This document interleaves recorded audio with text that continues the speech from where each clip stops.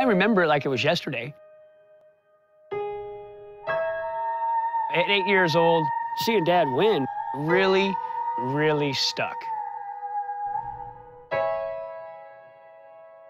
All I wanted to do was be like my dad.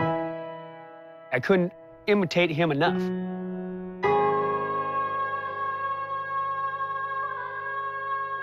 Three, two, one, go! He's back at it again. Wearing bib number five Lance Mackey. Back in 1978, Father Dick won the Iditarod by one second. Lance Mackey's on his way to home.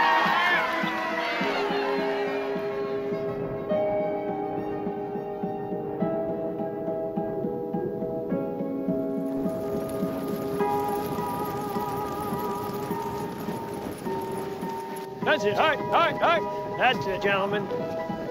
When I was young, people would ask me, are you related to Dick Mackey? It was a pretty big deal. Good job, guys. Winning the Iditarod was definitely my ultimate goal. It's a thousand miles over some of Mother Nature's worst terrain.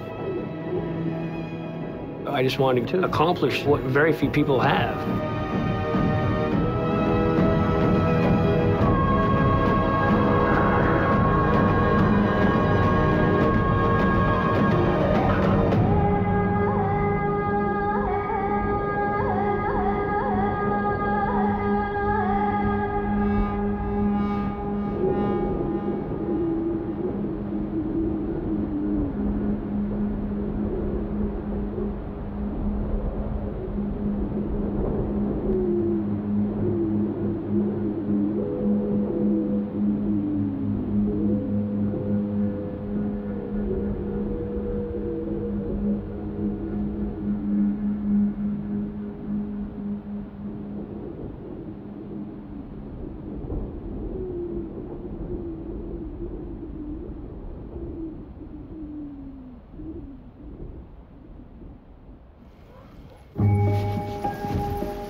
That's it.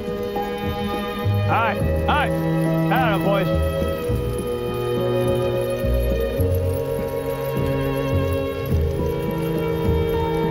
I tell people all the time when they ask me, when did you start racing?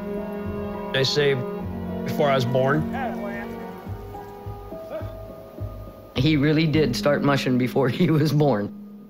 I was seven months pregnant with him when I was in the North American race. He had his little foot right under my rib cage. And every time I'd kick, he'd kick. And he was just kicking his way out. He wasn't very big when he was born. Oh, what a little terror in there. Lance grew up in a dog lot. When he was old enough to carry one of these little kids' beach pails and a, and a little shovel, uh, he'd be out there and he'd give them food, or he'd haul water or whatever. As soon as he was old enough, I built Lance his own sled and sewed him up his harnesses and stuff. He entered his first race and he won it. I mean, it was great. Every waking moment, it was something to do with dogs. Lance, are you gonna boot them all? Yeah. Five, four, three, Mackey is on the trail.